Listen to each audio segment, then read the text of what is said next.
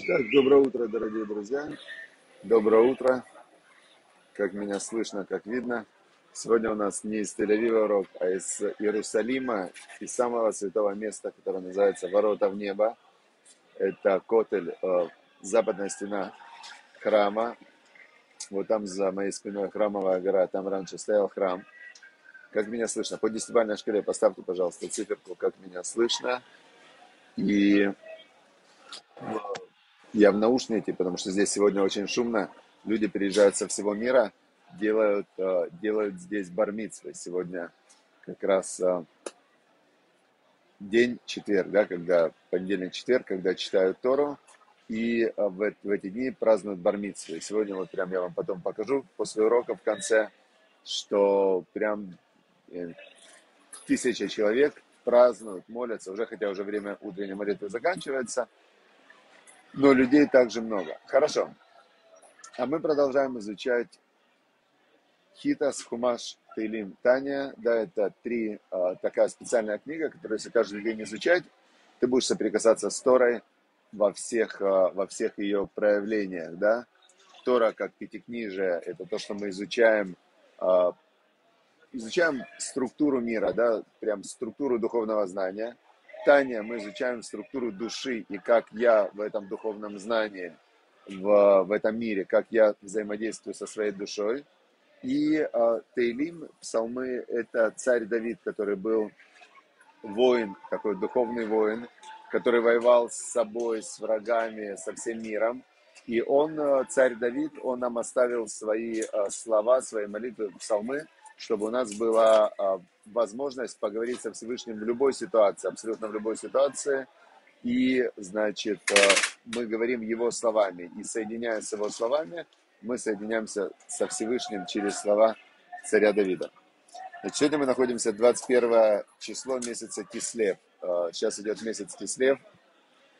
Уже скоро начинается Ханука, да, мы приближаемся к Хануке. И вы можете посмотреть законы Хануки, Рафин Касвашецкий, он подготовил законы Хануки. Очень мы в, разместили в канале, в телеграм-канале, в группе в Фейсбуке. Значит, э, чтобы хорошо подготовиться и все правильно сделать. Это очень замечательно. Сейчас будут 7 дней такого проявления Божественного Света. А сегодня мы продолжаем изучать э, мудрость Торы на каждый день.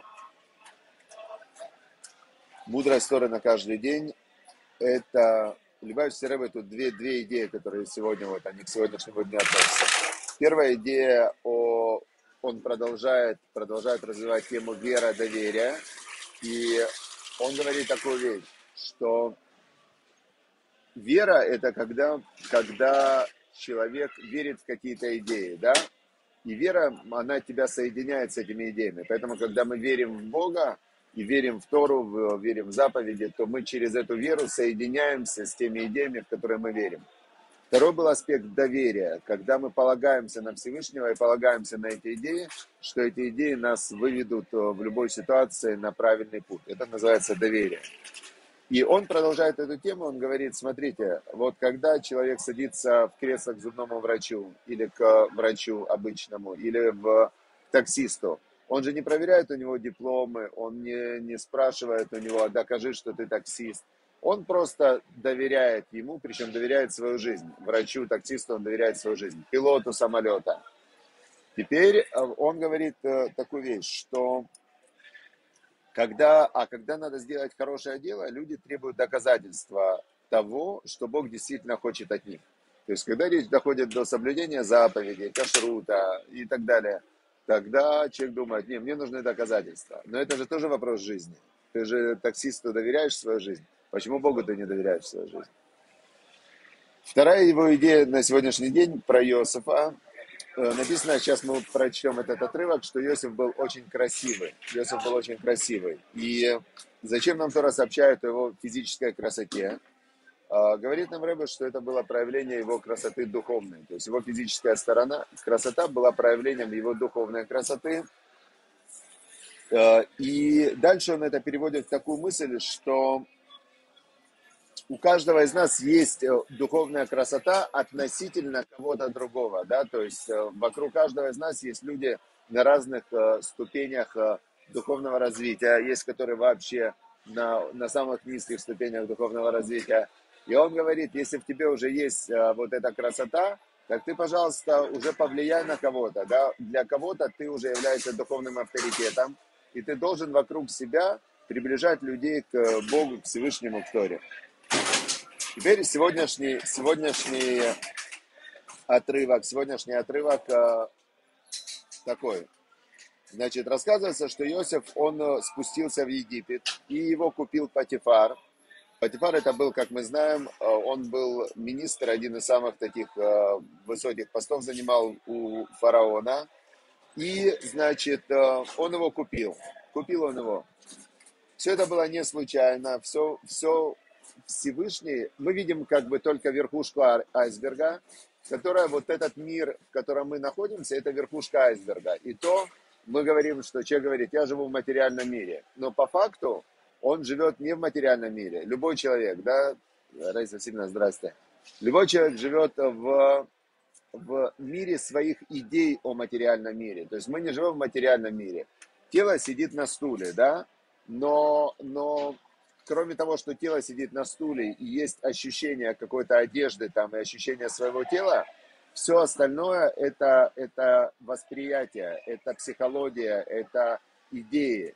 То есть любой человек живет в мире, большую часть времени он находится в мире идей. И когда человек выходит из мира идей, например, засыпает, он уже, это нельзя назвать жизнью. То есть жизнь это когда человек находится в мире своих идей, и думает о прошлом, о будущем, о настоящем, дает оценку, общается, разговаривает.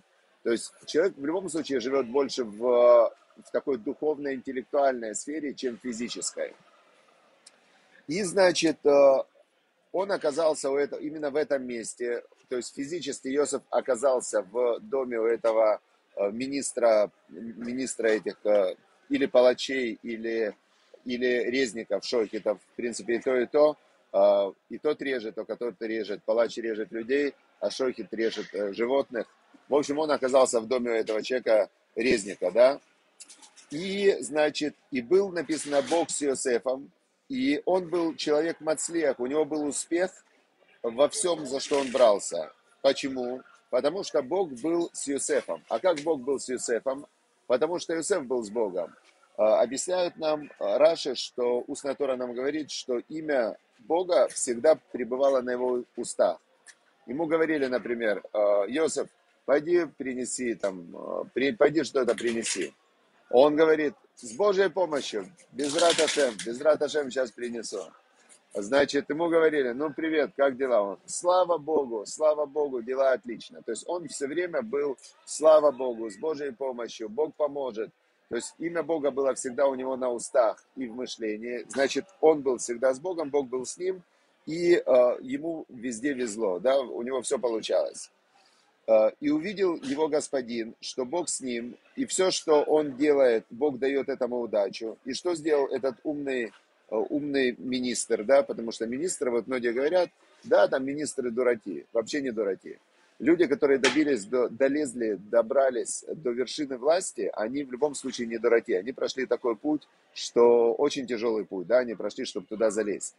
И они умеют, самое главное у них качество, те, которые идут к власти, и власть, деньги, самое главное качество, которое они в себе развивают, это умение разбираться в людях. И мы здесь видим, что вот этот вот министр, он Иосифа увидел, что ему везет, и что? И он его сделал главным, э, поставил его главным над всем своим домом, домом. Все отдал ему. Он видел, что он человек верующий, есть у него страх перед Богом, он честный. И он дал ему все в доме, говорит, ты главный в доме, вообще за все, деньги, еда, управление домом, всем хозяйством, кроме одного, жена. Жену я тебе не отдаю, жена остается мне. Значит, э, и было, значит, и было. С тех пор, как он э, поставил Иосифа главным в своем доме, у него было благословение божественное на всем доме этого египтянина из-за Юсефа. И, значит, э, он начал богатеть, то есть у него все и в поле, и везде, через Юсефа, через праведника к нему пошло богатство. Вот здесь тоже очень важная вещь такая, чисто практическая, да? Каждый человек хочет э, улучшать свою жизнь. Все хотят улучшать свою жизнь. Теперь улучшение жизни возможно только через людей. Ты кому-то помогаешь, кто-то помогает тебе. Если ты находишься вот между теми людьми, которые хотят тебе помогать, и ты помогаешь тем, кому надо, то есть получается, этот министр помог Йосефу, Йосеф был праведник, он его сделал главным над домом. То есть пошла вот эта вот э, духовно-физическая, пошла связь, все, всем везет, все прет, все отлично. Теперь дальше. Дальше мы узнаем, что будет дальше. Мы узнаем... А, последний отрывок сегодняшнего, да?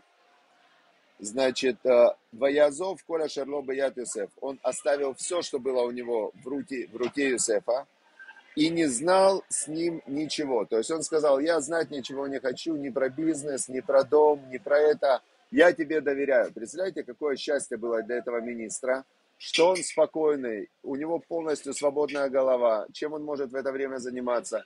Он в это время занимается при дворе фараона какими-то своими там министерскими кознями. А, он не думает, а, что у него дома, где его подставили, где у него украли. То есть он этот вопрос закрыл через Юсефа. И он довольный, весь его, все его направление мысли идет а, на какое-то свое там, я не знаю, чем он занимался, в свободное время.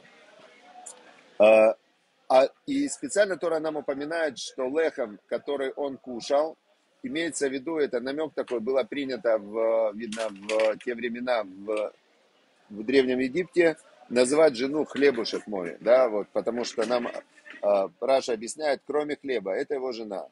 Э, однако употреблено выражение, э, значит, нытия, чистое выражение, Тора говорит чистым языком, и имеется в виду, что, ну, как бы, видно, в то время называли булочка жену, Значит, Тора так назвала красиво, чисто, кроме хлеба, который он ест. И тут нам сообщает э, Тора такую интересную вещь. Ваей Юсеф Яфе Туар Яфе. И был Юсеф красив э, статью и красив видом. То есть у него была красивая стать и красивый вид. Что значит красивая стать э, и красивый вид? Э, здесь мы впервые слышали это выражение про его маму, про Рахель. Она была красивая статью, красивая видом. И Сара была красивая статью, красивая видом. То есть э, человек, когда он, царь Соломон нам объяснил, что такое женщина красивая, помните конец притчи, он заканчивает такой фразой, Шекерахен обманет миловидность, в Эвеля Йофи уйдет красота, жена Ираташем, а женщина Иша Ираташем и Титалаль, женщина, которая есть страх перед Богом, трепет перед Богом, значит, она будет прославляемая. То есть они были такие духовные, красивые, сияющие женщины и э, позитивные, очень позитивные, потому что так как они были на связи со Всевышним, то им было все время хорошо, они улыбались. И Иосиф был такой же, позитивный, он был э, благодарный, веселый, и он хотел всем помогать. То есть Всевышнему, это значит, Всевышний всем дает, всем помогает, Всевышний не смотрит этот, например, там не соблюдает шаббат, а этот соблюдает. Этот есть кошерный, этот не есть кошерный. Всевышний всем дает, да, и он говорит, я вам всем даю, я хочу вам еще больше давать. Вот заповеди, вот вам заповеди это возможности. Я вам даю заповеди, возможности получать больше счастья, получать больше добра, больше света. Я вам даю возможность э, уподобиться мне в, вот в этом вот качестве давания, да.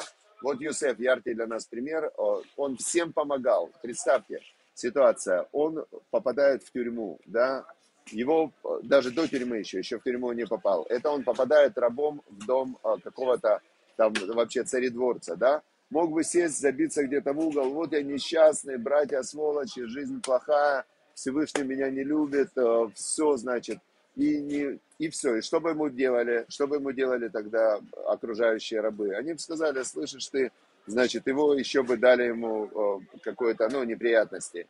Хозяин дал бы неприятности, все бы дали неприятности.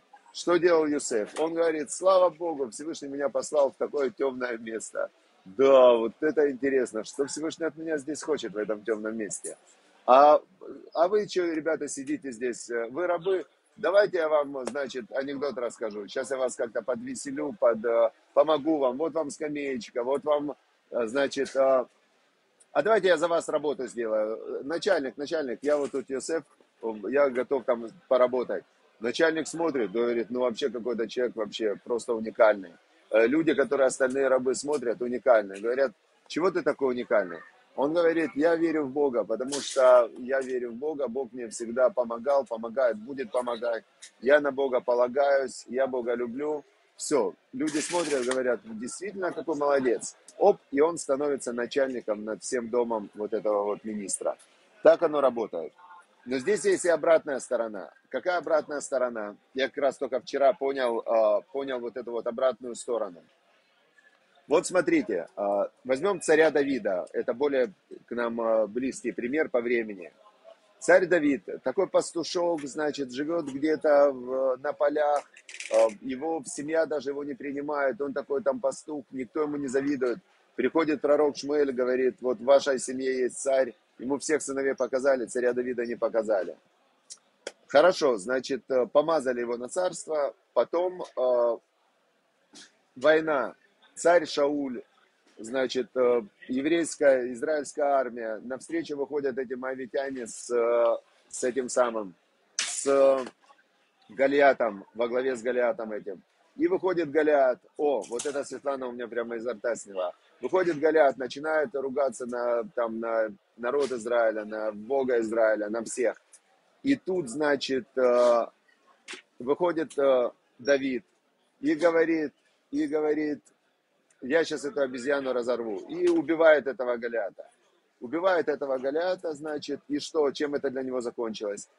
Царь Шауль, он хочет убить Давида.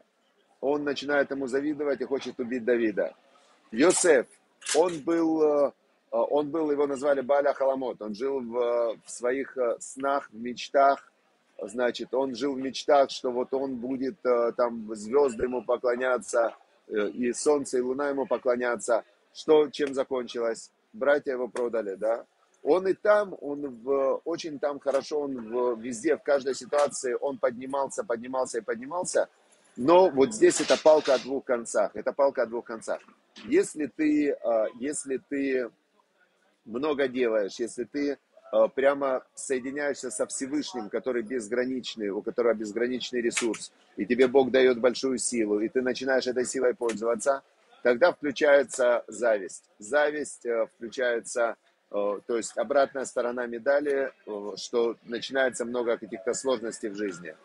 Царь Давид, царь Шломо, Йосиф Ацадик, тот же Яков, Авраам, Ицхак. То есть как только они соединялись со Всевышней и получали эту большую силу, вместе с силой они получали много очень сложностей, да, испытаний, сложностей, проблем. Если ты отказываешься от этой силы, и ты говоришь, у меня ничего нету, я такой, вообще нечего мне завидовать, да, жизнь плохая, начинаешь жаловаться, то вроде тебе никто и не завидует. То есть ты спасся от, э, от проблем с завистью, да, э, ты, если ты говоришь, я ничего не могу, так ты э, вроде избавился от всех испытаний в жизни, но чем ты остался? Ни с чем, ни с чем. Ты сидишь несчастный, и у тебя нету, нет испытаний, нет побед, нет достижений. То есть, э, если тебе плохо, так тебе плохо. Если ты говоришь, слава Богу, мне хорошо, я сделаю, Бог мне поможет, то ты двигаешься, но тебе, а, у тебя тоже сложности. Какой путь выбрать? Вот это вот очень сложный вопрос. И именно поэтому, мне кажется, хотел э, Ицхак разделить благословение материальное и духовное. Он хотел, чтобы просто разделить двух сыновей. Исав, который воин, который хотел вот в этом мире, он был э, такой очень амбициозный и так далее, вот он бы, Исав, хорошо бы воевал и хорошо боролся. А Яков, он, если бы он э, занимался только Торой, то это такой путь монаха. Он бы себе спокойно ходил бы себе молился, и его бы никто не трогал, и он бы занимался духовной работой. Но Всевышний посчитал иначе. Он сказал, я тебя поставил, каждого из нас поставил в этом мире, для того, чтобы ты в этом мире проявил свою божественную природу, перевел материальное в духовное, чтобы ты жил, рос, развивался, боролся, побеждал, побеждал внутри злое начало, побеждал зло снаружи себя. Всевышний нас поставил в такой мир, и у нас есть свобода выбора, как к этому относиться. Тоже сегодня слышал одно объяснение, что э, Галут, да, первый Галут, первое изгнание, э, вот мы наблюдаем на Юсефе, он был в изгнании, в тяжелейшем изгнании. Его, э, он был без семьи, один, он был в, на чужбине, он был рабом, он был в тюрьме, он был, ну вот, страшное изгнание. И мы видим, э, как он к нему относился. Он к нему относился не как к знанию, а как к заданию. Он относился к нему, что Всевышний ему дал задание, э, значит, в этом месте, в Египте, прославлять имя Всевышнего и, э, и значит, выполнять его задания. И в итоге, когда пришли братья к нему, он говорит, вы думали, что вы мне сделали плохо? Он говорит, вообще нет. Всевышний, он управляет ситуацией, он меня направил туда, куда надо, прям конкретно. И мы видим результат. 70 лет после этого был Йосиф премьер-министром Египта, прославлял имя Всевышнего, обрезал весь Египет. Все в Египте стали верующими да, в Бога. Он всем объяснял, что вот смотрите, есть Бог, Творец, Создатель, Он выше всех ваших идолов. И, значит, египтяне это все узнали, но, к сожалению, потом они, конечно, это забыли. Когда Иосиф умер, то вот этот свет божественный, который шел через него, выключился, и еврейский народ уже весь остался в этом изгнании, в котором, опять же, они вели себя по-разному. Колено Леви не было в изгнании, потому что они при, прилепились ко Всевышнему. Все, всем удачи, успехов, распространяем божественный свет. Э, прямо его нужно в себе включать и быть э, проводником, дающим. Да? Человек, который дает другим, то ему, конечно, легко жить, потому что у него нет недостатка ни в чем, он э, дает, помогает, и Всевышний дает ему ресурсы, чтобы давать другим. Все, я желаю каждому из нас, чтобы было много ресурсов для помощи другим людям. Здоровье, прежде всего, энергия, потом э, благополучие, любовь вокруг, да, очень шломбайт, чтобы у всех был, чтобы все, кто еще не женился, женились. И, значит, э, прямо создавали вокруг себя вот этот мир шлемута, которым совершенство, которое можно достигнуть только через то, что ты даешь. Все, сейчас я переключу, кто хочет помолиться, может помолиться прямо в... Я поддерживаю ваши молитвы, почитаю сейчас 5 минут, не 5 минут, давайте 3 минуты э, я сейчас переключу, чтобы вы могли помолиться. Я почитаю сейчас как раз э, псалмы, чтобы Бог услышал ваши молитвы. Все, счастливо, хорошего дня.